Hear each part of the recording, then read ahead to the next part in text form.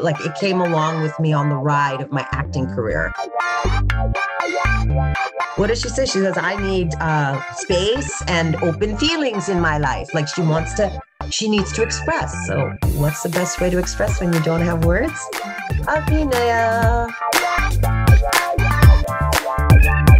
She finds a space that she can, you know, have some fun. And the fact is, the theme is about love this year. We really need that. We need that right now. She's a tough broad. It's all there. But I think she she she she lost herself along the way. Forget about just connecting with her kids. She has to connect with herself.